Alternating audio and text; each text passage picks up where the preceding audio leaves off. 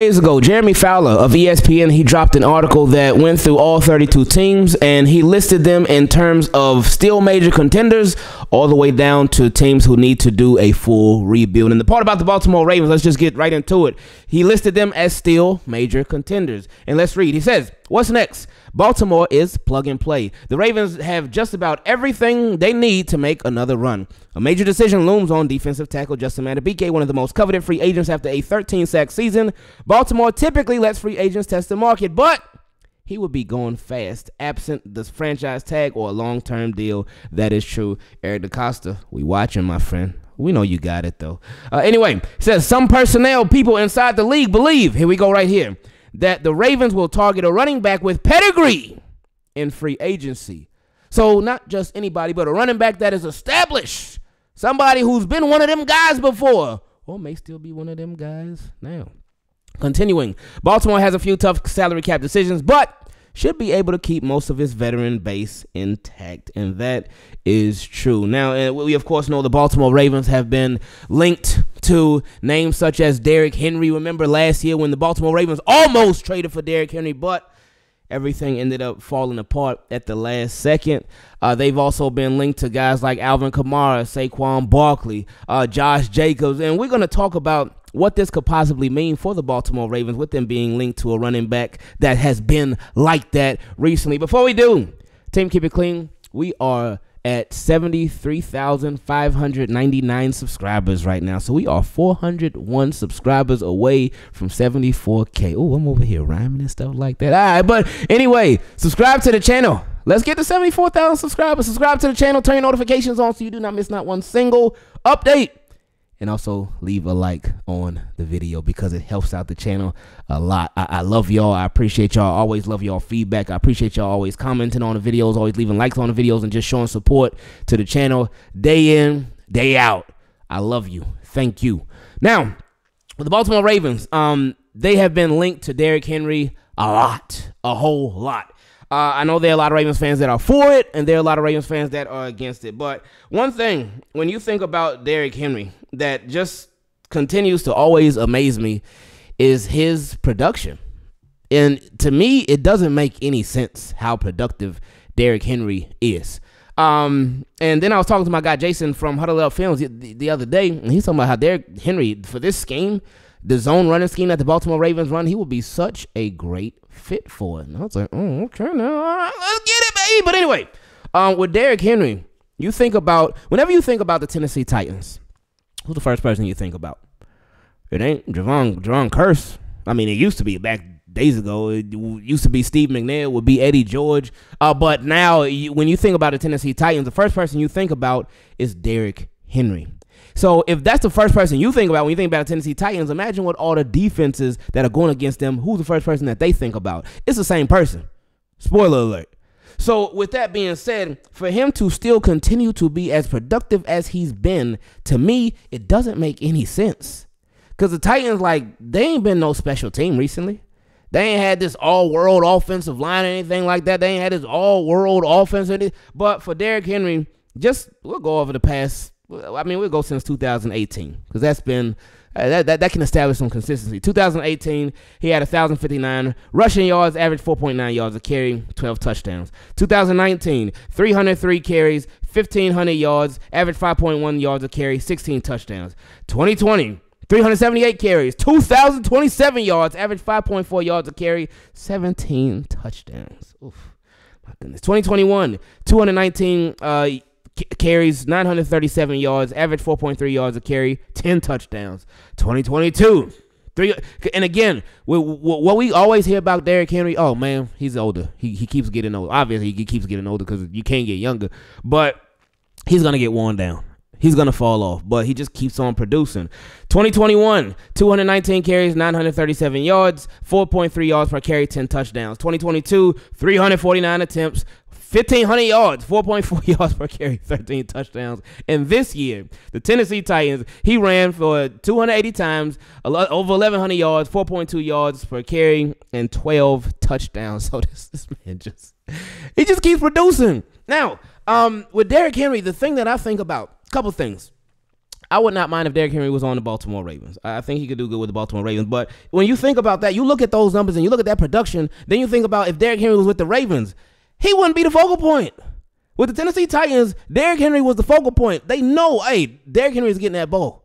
They know he's getting the ball. But with the Baltimore Ravens, like you, yeah, Derrick Henry could be out there, but that ball could go to so many other people, which is a beautiful thing and a beautiful problem to have, even though it's not really a problem. But anyway, um, Derrick Henry could feast with the Baltimore Ravens. Him being a Baltimore Raven would make life so much easier for him and for the Baltimore Ravens. Now, with Derrick Henry, um, my concern now, and, and you know what? Let, us go through all the positives, and then we'll go through the negatives, uh, the possible negatives about the running backs, and what I think is probably the most underrated thing about each of these guys.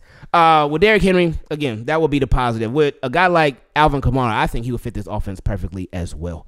Alvin Kamara, um, catching passes out of the backfield. We know that the Baltimore Ravens have done a much better job overall uh, uh, involving the check down game. Maybe in the AFC Championship could improve a little bit, but they this year the check down game has definitely been there a lot. That's Alvin Kamara all day with the screens. He's like a little receiver out there, and just his style of play will fit the Baltimore Ravens good as well. Um, you think about Saquon Barkley, just how explosive he is, how he could take a two yard gain, turn it to a sixty yard gain like that. That man is just amazing. And then Josh Jacobs, I think he's just such a uh, a well rounded running back. Um, and I feel like for him, I can only list him on the positive side. I don't really see any negatives with Josh Jacobs like that. But anyway, um, when you think about the negatives, when I think about the negatives with any of these four running backs, uh, with Derrick Henry, um, first and second down back, what the Tennessee Titans did, and I'm not sure if you could teach an old dog new tricks or whatnot. Maybe, who knows? But what the Tennessee Titans did, they made it so obvious because on running downs, first and second down, Derrick Henry was out there. You saw number 22. Passing down, hey, big fella, come over here. Come to the sideline for a minute. Let me talk to you. They would take Derrick Henry off the field for passing downs. So that kind of lets us know like the pass protection ain't good. Catching passes out of the backfield, that's not really his thing. So that would be something where be like, I, I don't know, my friend. And I, yeah, so that, that part would be a little concerning because that could be some giveaways, some possible giveaways for Derrick Henry. Or hey, maybe he gets with the right coaching staff and, and they help him improve his pass protection, catching pass out of back. Hey, who knows? Who knows? We'll see. Well, we maybe we might see. But anyway, that would be a, a, a negative on Derrick Henry. With Alvin Kamara, um, the negative would be just the cap hit. The the cap hit. I know he got like a crazy cap hit, especially over the next two years. I think his contract runs for the next two years, so the cap hit is just crazy high right now. Now, if he were to be released from New Orleans, then it's like, oh, okay, there you go. But if it were to be via trade, then yeah, that probably ain't gonna happen. Saquon Barkley, mm. Saquon Barkley, y'all already know what the negative on him is. It's injuries. That's it, man. It's injuries. He can literally do everything, and I hate it for him too, man, because he is just such an amazing running back. But the injuries, man, because he can catch passes out of the backfield. You send him on a little wheel route, he'll catch the ball. He he can run, he can go through the tackles, he can take it to the outside. He can do everything at a high level. But the injuries, man, they they just they change everything for him in a bad way, man. So it's like with him, if you were to sign a Saquon Barkley, we would love it, but there would just be that fear. So I think that's where the money can get kind of funny with Saquon Barkley. We'll see what happens with him in free agency, though. And again, with Josh Jacobs, he's been healthy. He's been productive. Like I, I feel for Josh Jacobs, I feel like there's not really a knock on Josh Jacobs at all. But what all four of those running backs have in common and something that I feel like is extremely underrated and, and, something that would benefit the Baltimore Ravens in a major way if they were to get any of those guys. Like Jeremy Fowler originally mentioned in the article that we read earlier, it would be a running back with pedigree. It would be a running back that had been established in the NFL. It would be a running back that had been respected and has been there and done that and, got his as a running back in this league. And the reason I feel like that is extremely important is because the Baltimore Ravens, it would be somebody that they would have to pay some significant money to. I don't think they will go crazy, crazy with it, but it will be somebody that they paid a significant amount of money to. So when you pay somebody a significant amount of money, you usually want to use them. You usually want to involve them. So I would think, and I would actually, I would hope that if it came playoff time, if it came crunch time, if it came down to it, and the Baltimore Ravens were in the playoffs, and it's like, hey, we're paying this running back a lot of money. How about we use him? Uh, that would obviously change everything about these Baltimore Ravens. Because again, we go back to 2019. The running backs were Gus Edwards. It was Mark Ingram. I hurt Mark Ingram though, because he had I think like a high ankle sprain, something like that. But they didn't really run those running backs. the, the running backs got nine carries, a total of nine carries. One running back had six carries, and the other one had three.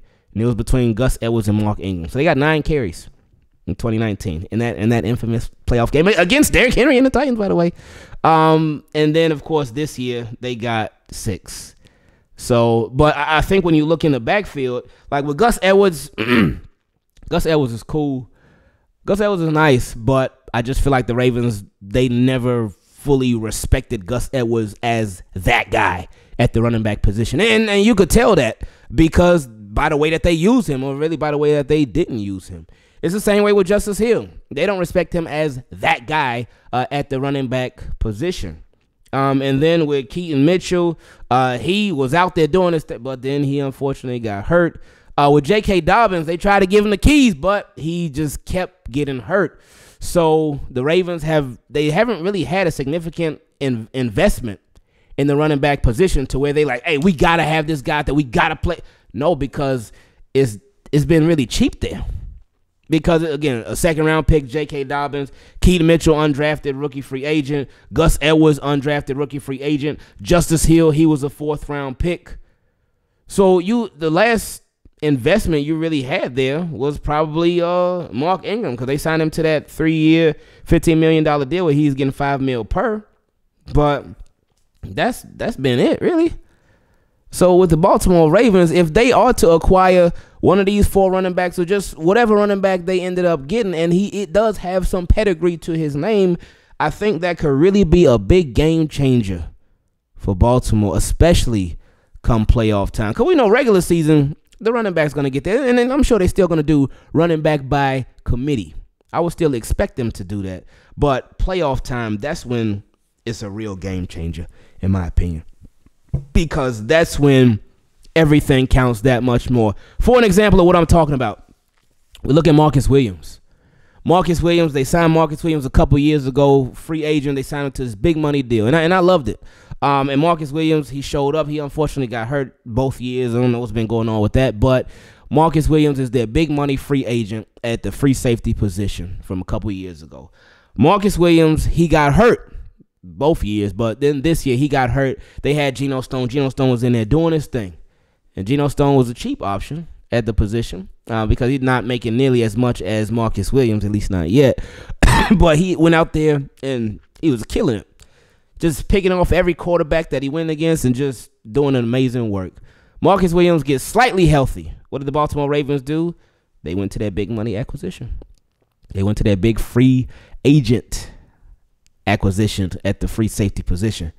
They said, Geno, look, we know you've been doing your thing, but we paid this guy a lot of money here to play the position. So, yeah, he's up.